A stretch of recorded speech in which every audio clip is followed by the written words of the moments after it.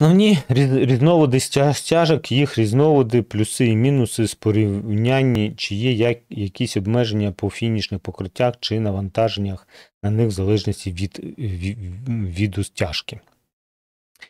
Ну, в нас, е, якщо ми дивимося по технологіях, то це е, пол це звичайні стяжки, тобто технології звичайного полу, так, або сухі стяжки, так звані, тобто, коли ви використовуєте якісь лістові матеріали.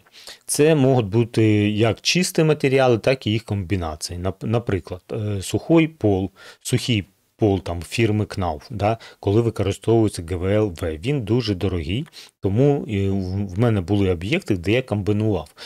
Наприклад, фанера, і зверху е, один шар фанера і фінішний шар ГВЛВ, тому що там або е, вініл, або плитка укладувалась потім і так далі. Ось, Або два шари фанери, якщо у вас, наприклад, паркет, паркетна дошка.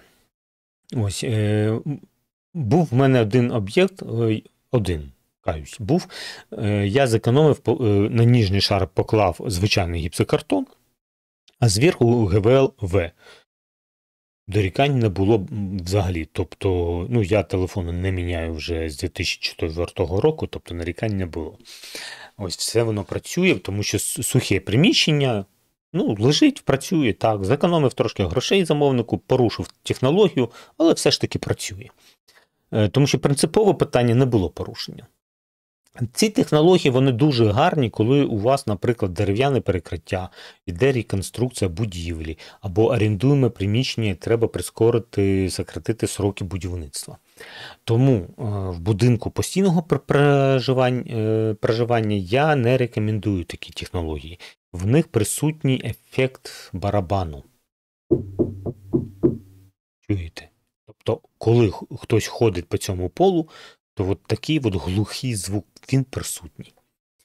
Тому не найкращий варіант, так скажемо, для будинку постійного проживання. Далі йдуть більш традиційні технології, тобто це може бути звичайна стяжка або напівсуха стяжка, так звана. Напівсуха стяжка з'явилась на нашому ринку ну, порівняно нещодавно. Ось, ну, Можемо сказати так, ну, років 5-7. Це це маленький дуже срок. Зазвичай робляться звичайні стяжки звичайного розчину.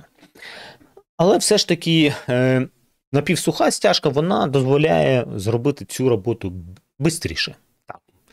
Е, якщо у вас, наприклад, знову реконструкція, е, ремонт квартири, офісу, тобто внизу є дуже дорогий ремонт, і ви боїтеся його замочити, то напівсуха стяжка це ваше все. От це вам допоможе. Ось її, от як показав е, досвід, що її не можна використовувати на вулиці. Категорично не можна. В неї дуже велика порістість виходить, вона дуже рихла і тому має дуже низьку морозостійкість. Але ті, хто протовшкував обладнання для виготовлення цих стяжок, вони про це промовчали. Тому що їм потрібно як якнамога більше продати цього обладнання. І пішли проблеми. І в нас такі проблеми теж були.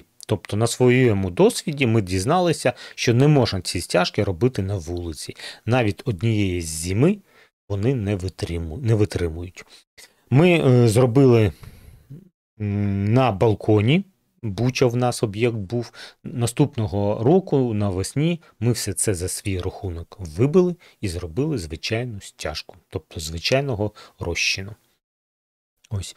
А Замовник на іншому об'єкті, це був котежний городок. На оздоблення він запросив інших підрядників місцевих. Вони почали робити оздоблення. Ось і так як в нас було, ну, скажімо так, була черга, тобто ми сказали, що, наприклад, стяжки на терасі ми зможемо зробити десь через місяць. А місцеві хлопці сказали, що вони зроблять через тиждень. Тому замовник погодився, і вони зробили йому десь місяця через два. В ітогі. Ось. Так оцю стяжку на наступний рік ми всю вибивали, тому що вона точно так же на цій терасі повністю в труху всю превратилась. Я записував маленьке відео в каратиш з цього об'єкту і показував. Там, коли ми її ламали, то було видно, що різна щільність цієї стяжки, ось і тому вона не дуже гарно перезимувала. Так що ось такі розбіжності. По звукоізоляції тут більше все ж таки і та і та стяжка має масу, і тут більше вже грає, що ви використовуєте в якості звукоізоляційного шару. Якщо пінопласт, е-е, це не звукоізоляційний шар і ніколи ним, не був.